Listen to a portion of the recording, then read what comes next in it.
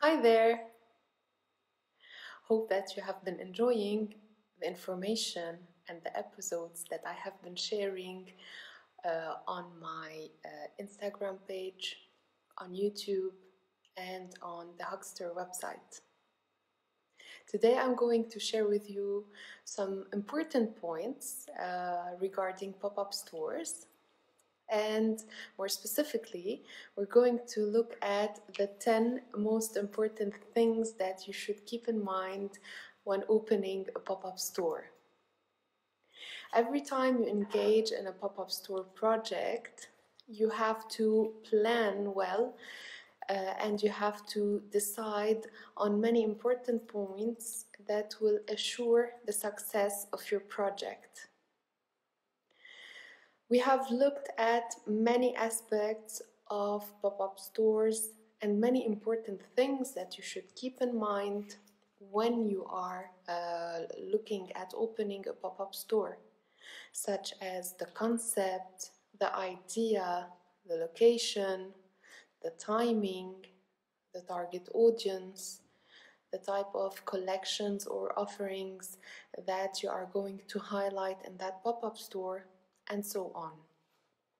So today I'm going to only uh, look at 10 important points with you regarding uh, to planning uh, a pop-up stores opening.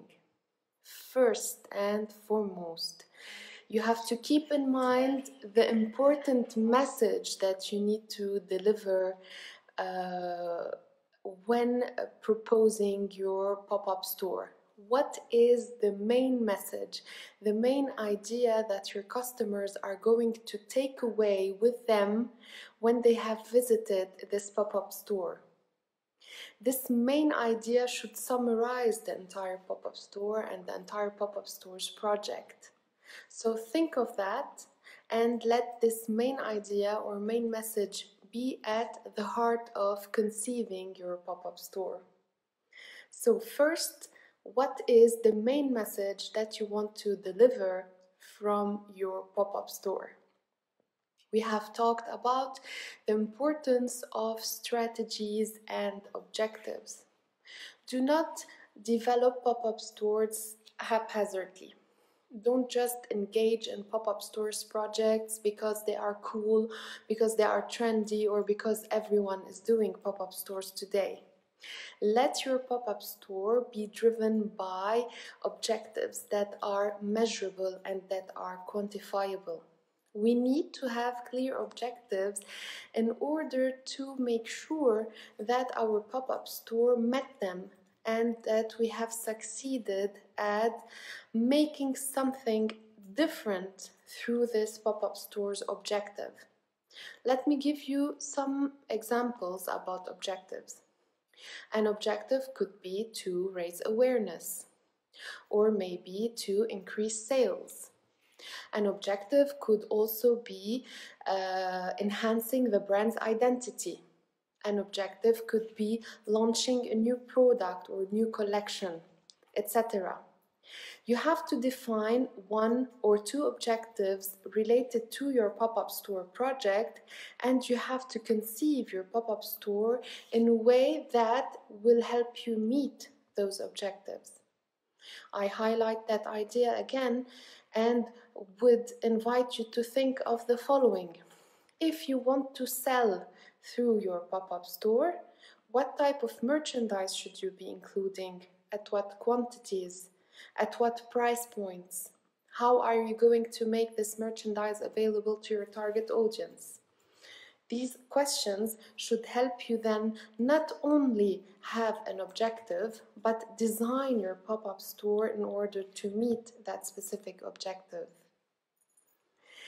The third point is who is your target audience? Now, this is crucial in any project related to any brand. Why do we need to develop a pop up store? Is really important, but it is crucial to uh, answer the question who is the pop up store going to be talking to? Who's my target audience? If you understand the importance of the question, you would be able to design a pop up store that could directly speak to your target audience. Speaking directly to the target audience would mean designing the space, the atmosphere, the communications, the messages, and everything that you have to insert or include in that pop up store in order to engage your customer and make him feel connected to your pop up store and make him feel at a closer distance uh, with the brand. The fourth point related to opening a pop up store is the location. Where are you going to pop up? Location is important in retail and has always been important to retail. In the case of pop up stores, location is also crucial. It is key to the success of your pop up store. As location would be a meeting point between your brand and the target audience. If you're also thinking of going and looking at new or secondary target audiences, locations are also choices that should be calculated in order for you to get in touch with that target audience, where they are, where they hang out, where are they going to pass by, for example, from their journey from work to home and vice versa, and where are you going to be placed at that right moment when the customer would be most inclined to visit your pop up store. Think of location and think of the importance of location in terms of your objectives. If you have been watching uh, the ephemeral retailing episodes, you would have surely uh, gone through the episode where we explained decisions regarding location choices. We're going to explain that point in details in future episodes or future uh, live sessions. The fifth point related to the most important things to keep in mind when opening a pop up store is when are you going to pop up? Or the timing related to the pop up store's appearance.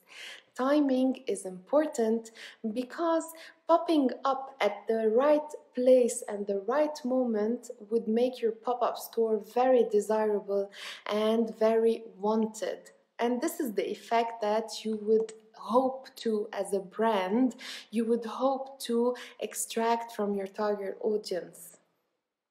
So, when there are many um, uh, seasonal uh, dates that are interesting uh, to a brand. For example, the period of Christmas, New Year's, Valentine's, maybe during uh, bank holidays in May or the 1st of May, Mother's Day, summer vacations, you name it. There are many important dates uh, during which a brand could appear. However, I would uh, uh, invite you to think again of your brand identity and the type of offering that you uh, propose to your target audience. If your brand sells products that are rather summery or wintry, you might as well think of the timing related to a summery or wintry event during which you would pop up and propose your event or your collection. So, we cannot just say that there are five or six events uh, or dates that every brand should appear uh, during uh, to do their pop up stores the timing is very related to your pop up store's identity and to the offering that you wish to propose during that specific time uh, through this pop up event. So, we are going to also think about not only the timing, but for how long I'm going to stay in that location uh, in that pop-up store. We know that pop-up store are ephemeral in nature. They are defined as types of stores that appear and disappear during a very short period of time. But what is a short period of time? Is it a couple of hours, a couple of days, a couple of months, or a year? So again, this depends on the objectives, the initial, the initial objectives that you have uh, set before developing the pop-up store and what you wish to extract from that pop-up store as a result. I need to invite you uh, to think about the importance of timing as excitement might be diluted if your pop-up store stays for longer periods of times. Again, there have been many examples of pop-up stores of developing brands or mature or developed brands. And in mature or developed brands, there have been also two uh, categories those who are luxury brands or other mass brands. Why am I explaining this idea to you? It's because that luxury brands tend to do lots of pop-up stores, but their timing is slightly elongated more than startup brands, creative brands, or brands that are being developed.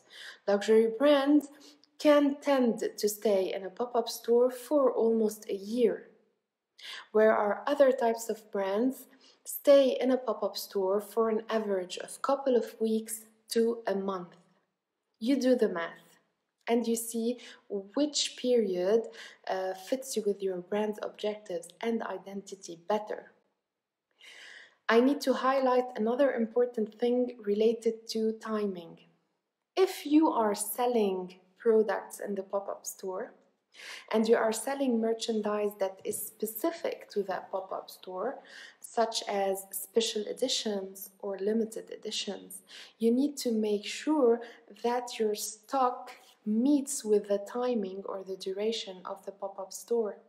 This is very important as it's not possible for you to stay in a pop-up store and sell merchandise if you do not have the stock to sell so do not make that mistake. Make sure you calculate everything in very uh, detailed precisions before you engage in uh, uh, hiring the location for uh, X or Y periods of time.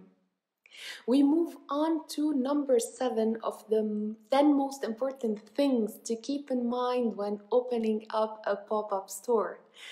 What budget would you allocate for this pop-up store project? Pop-up stores could be uh, our outlets to creative, crazy uh, uh, concepts. The concept could be uh, crazy and could look very nice on pen and paper, but do I have the budget to realize it? This is the question of most of the brands budgeting could not uh, be in the hands of every brand. Therefore, the brand might have to do some concessions in terms of maybe design, concept creation, personalization, etc. So you have to make sure that your budget also goes hand in hand with your concept and your concept's realization or execution. I'm going to uh, to to be uh, uh, looking at that uh, idea in further details in other uh, lives or uh, stories. The eighth more, most important thing to keep in mind when opening up a pop-up store is related to communications. How are you going to communicate your pop-up store? Communications has to also go hand in hand with your objectives and it has to communicate your pop-up store before it appears it has to reinforce the communications during its appearance and it has to wrap up information related to your pop-up store after your pop-up has uh, uh, uh, closed or after you have wrapped up your project. So, in terms of communications, you have to design the message. Also, the main message of communications have has to go hand in hand with the concept or the takeaway message of your pop-up store. Remember the first idea that we discussed uh, at the beginning? And communications has to move your customer from social sites uh, to the store and vice versa remember that uh, if you're working in an omni-channel uh, context, meaning if you have several outlets such as a physical store or a website and you're adding to that a pop-up store, communications have to also help the customer make their journey around all of these available outlets. Now we uh, reach our ninth most important thing that we should keep in mind when opening up a pop-up store and that is the pop-up store's design or the atmospheric design. Remember that uh, pop-up stores have to be different than traditional stores. They have to be engaging they have to allow interaction of the customer between uh, and and uh, um, and they have actually uh, to create openings for the customer to engage with the brand within uh, the pop-up store's atmosphere or context. And you have to create those touch points in order for the customer to feel free to engage with the brand and the customer has to be able to feel free to engage with other customers visiting the pop-up store hence the importance of a pop-up store's social dimension I have to highlight as well that the pop-up store's atmosphere can be very simple in terms of conception and material it has used. However, the allocation of the atmosphere and the concept goes hand in hand with the, the pop-up store's brand identity and the target audience and it is created in a way that makes the customer feel at home and feel that he can co-create his experience uh, with the brand. I need to remind you again uh, that uh, the pop-up store's atmosphere will help you um, help the customer stay longer and will help you collect vital information out of the exchange that you have uh, uh, created between you the brand and the target audience. And this information is very important and you should make sure that you consider every piece that the customer shares with you as it would enhance your brand uh, and your brand's decision uh, regarding uh, the collection or uh, anything that you have presented or have been testing in that pop-up store for future decision making related to your brand. Finally, the tenth most important thing that you should keep in mind when opening a pop-up store is how will you engage with your target audience. So when we have set up an atmosphere that is inviting, we are making sure that our customer feels at home and our customer has a voice. Your uh, pop-up store's atmosphere has to allow your customer to share his voice about his experience in that pop-up store. Make sure that you are connected and your customer can be connected whilst he's visiting your pop-up store. It's crucial to have a Wi-Fi connection in your pop-up store.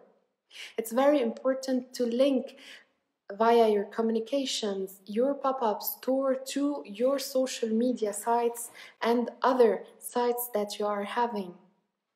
You have to have a specific hashtag or QR codes or any other links uh, through which your customer can share his opinion or his feelings or his journey throughout his pop-up store's visit. Maybe the customer would mm, take a selfie in store and upload uh, the image uh, on his online site. And this will yield other uh, returns and comments from his network. Those people would be curious uh, to come and visit your pop up store, and hence the engagement that has been created.